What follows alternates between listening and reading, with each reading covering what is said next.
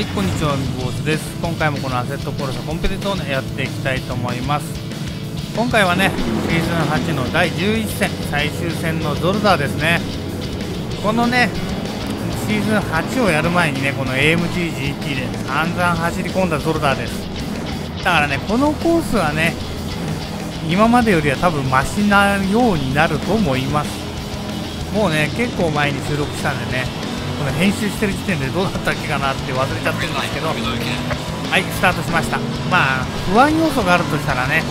こんな暗い中でゾルダー走らせたことないですよね。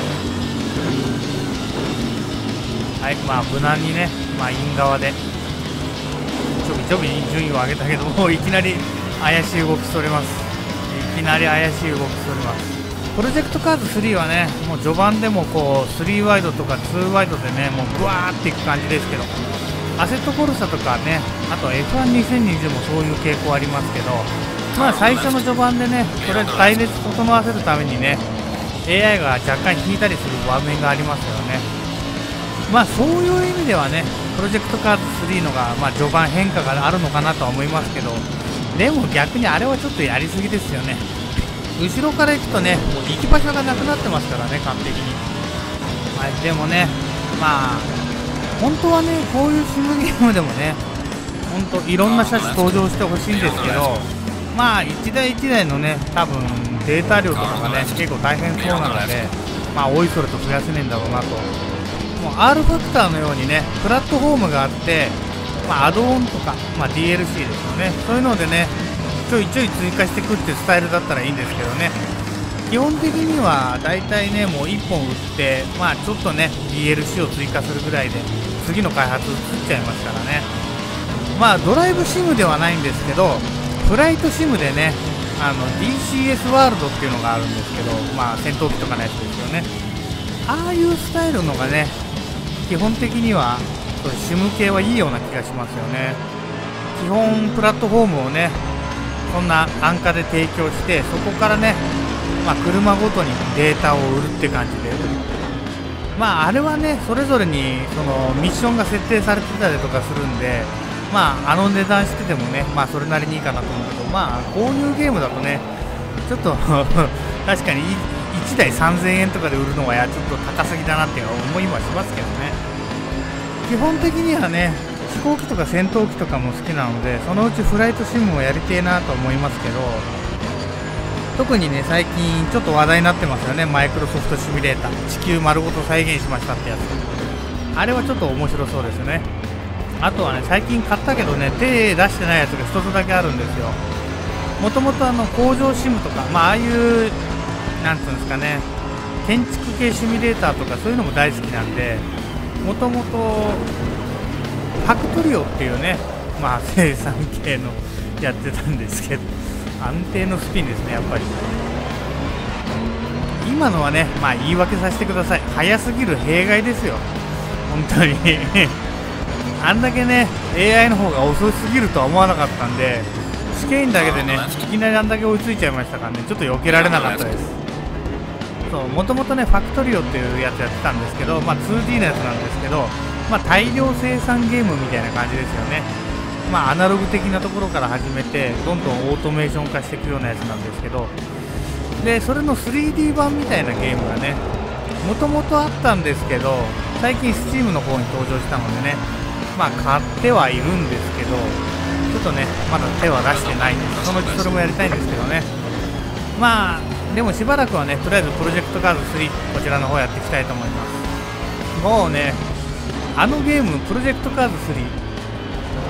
ああ、まあいいや。それはまあ、プロジェクトカード3の動画で語りましょう。このね、アセットコルさん、もう今回、とりあえずね、これを最後にしばらくお休みして、F12020 とプロジェクトカード3の、まあ、1日交代のアップをしていこうと思います。もう何気にね、100本以上、一応、アセットコルサではね、コンペティツォーネでは動画出したんですけど、でも、まあ、これはこれでね、すごく楽しめるゲームなので、今後もやっていきはするんですけど、まあ、動画にするかしないかは、まあ、今後、プロジェクトカード3とか F12020 の進展具合ですね。はい。で、まあ、今日はね、31日、8月31日、月曜日なんです。ここからはね昨日の F1 について話をしていきます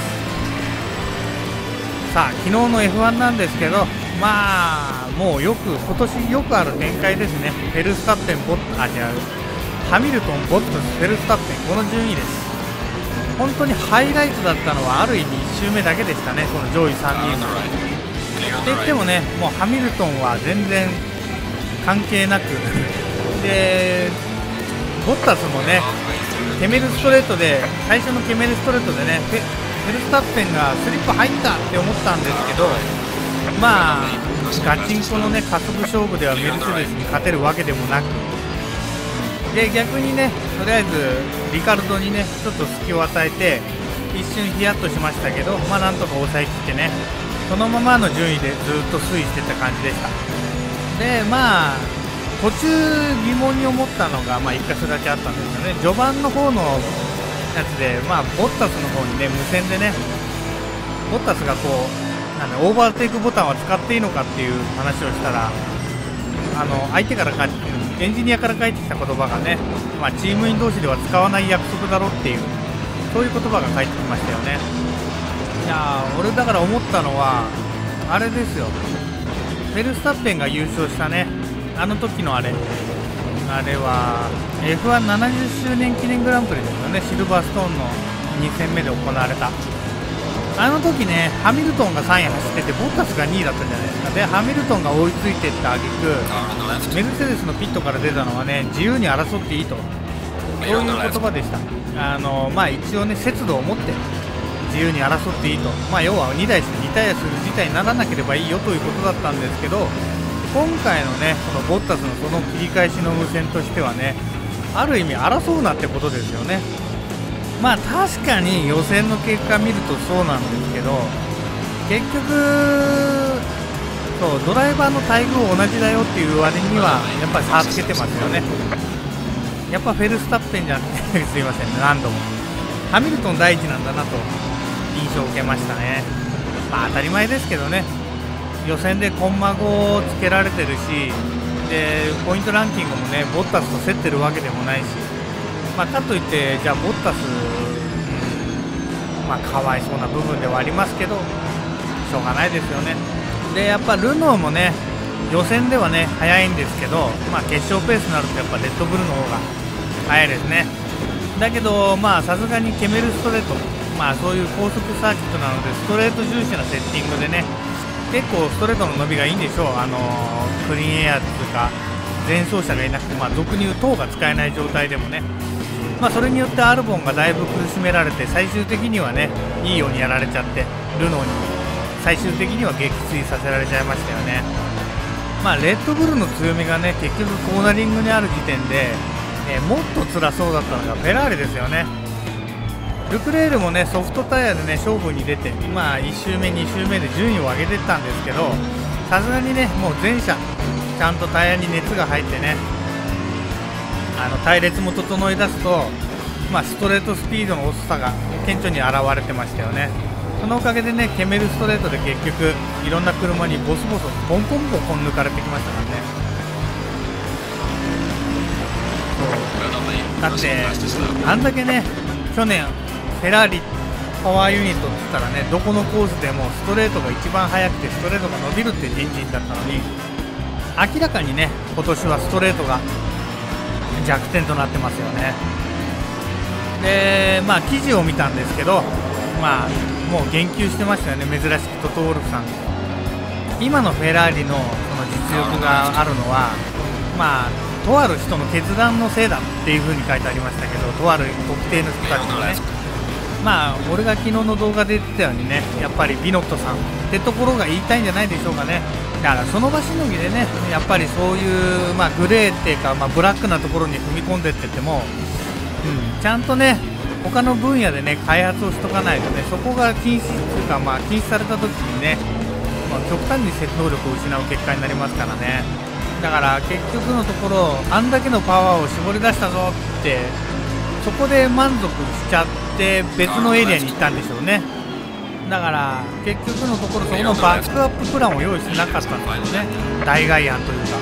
そうすればねいざそこが禁止されたとしてもそこまでの落ち込みはなかったと思うんでね。でそうまでしてね別のエリアに注ぎ込んで開発したはずのシャーシ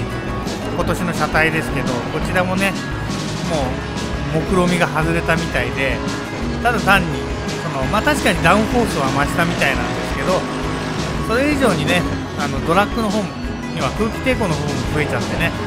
そうダウンフォースと空気抵抗両方とも増加しちゃったっていう最悪のところに落ち込んだみたいですね。そのおかげでねあのストレートでアルファロメオですら要はカスタマーエンジンの車ですら抜かれてましたからねフェラーリのワークス。確かにね空力って相反するものがありますよね。そのダウンフォースを得るためには、まあ、空気抵抗を上げなくちゃいけないけどそこのバランスなんですよね問題は。まあ間違いなくダウンフォースが得られてる時点で空気抵抗は増えるんですけど一番理想なのはねそのダウンフォース量がね増えても空気抵抗がそんな増えないっていうのが理想でそれを対、まあ、今実現できてるのがメルセデスとかそこら辺あたりなんですよね。強力なダウンフォースがあってもまあそこそこ空力効率が良くてストレートも伸びてくれる。かつね他の車よりダウンフォースつけてもパワーユニットのおかげで同じ水準まで加速できると。まあ結果的に速いってことですよね。はいじゃあねとりあえず今回のシーズン8第11戦最終戦。今回でねしばらくアセットコロサコンペティゾーネはお休みに入りたいと思います。まあ練習はね絶えずやっていくんでね。まあそのうちまた上げることがあるかもしれません。なのでね次回からは F12020 とプロジェクトカード3の交互投稿になると思います。はいじゃあ最後までご視聴ありがとうございました